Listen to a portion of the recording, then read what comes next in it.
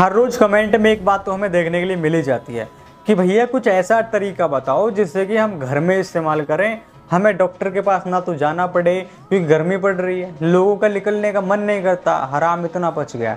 तो नॉर्मली देखो, अब चाहे तुम्हारे हराम पचे, चाहे कुछ भी बचे हमारा तो मतलब है सिर्फ़ आपको बताने से, आपको गाइड करने से।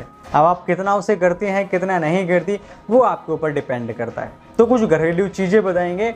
आप अगर उन्हें इस्तेमाल में लेंगे तो आपकी प्रेगनेंसी रुक जाएगी। सौ परसेंट नहीं कहेंगे, रुक ही जाएगी। लेकिन हाँ अगर आप पाँच छः महीने उन्हें इस्तेमाल करेंगे तो पक्का रुक जाएगी।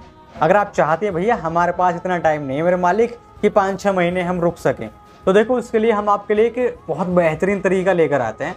देखिए, हमारे पास एक दादी माँ रहती हैं जो देसी दवाइयाँ तैयार करती हैं।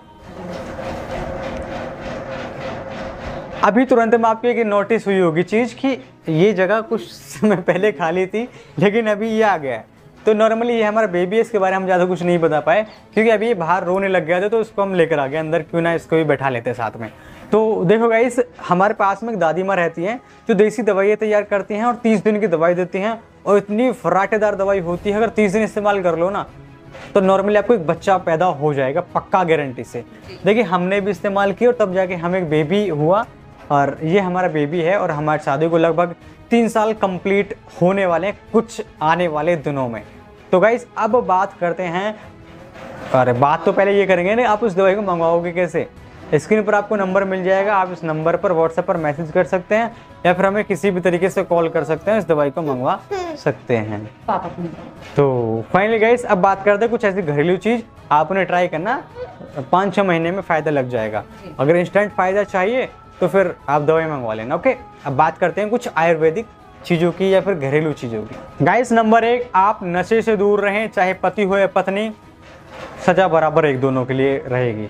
नशे से दूर रहना, दिलवा, गुटखा, पान, मसाला, कुबेर, धवनी, पवनी, जितनी भी चीज़ें हैं, सबसे दूर रहो। नशा वाली चीज़ें आपको नहीं, आपके जनन अंगों को मार रही है। आपके बच्चे बनाने वाले कीड़ों को मार रही है। तो इनसे आपको दूर रहना है नॉर्मली ठीक है? दूसरा, तनाव से दूर रहना। अगर आपकी शादी को लंबा टाइम हो गया है तो ये मत सोचना, भैया, इस बार पता नहीं पीरियड आएँगे प्रेगनेंसी रुकेगी, नहीं रुकेगी।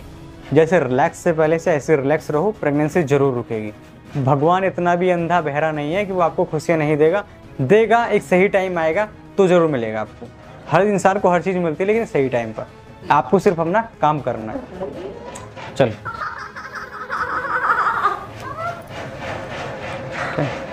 गाइस नंबर तीन है आपको अपने वज़न पर कंट्रोल करना है। आपको वज़न को ज़्यादा नहीं बढ़ने देना।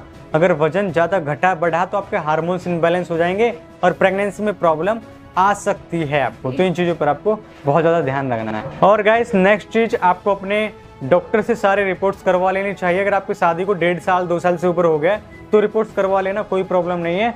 और उससे भी पता चलता है काफ़ी चीज़ें, क्या प्रॉब्लम चल रही है, क्या नहीं। और गैस लास्ट सबसे आसान और अच्छी चीज़ है कि आप अपने खान पान पर ध्यान रखना। ये सबसे बड़ी चीज़ है कि प्रेग्नेंट होने में इनका भी बहुत रोल रहता है। सादा जीवन, उच्च विचार, ज़िंदगी का असली आधार। सादा खाना खाओ अच्छा खाना खाओ, वो आपके लिए बेनिफिट है। बाकी पिज़्ज़ा बर्गर और बाहर की तली भुनी चीज़ों में चाउमीन, बिरयानी, चिल्ली पटेटो इनमें कुछ नहीं रखा। आप सादा खाना खाओ प्रेगनेंसी जल्दी कंसीव होगी। आई होप गाइस आपको ये वीडियो अच्छी लगी होगी। कमेंट में ज़रूर बताना आपको ये वीडियो कैसी लगी। आज के लिए इतना ही, मिलेंगे नेक्स्ट वीडियो में। तब तक के लिए बाय बाय टेक केयर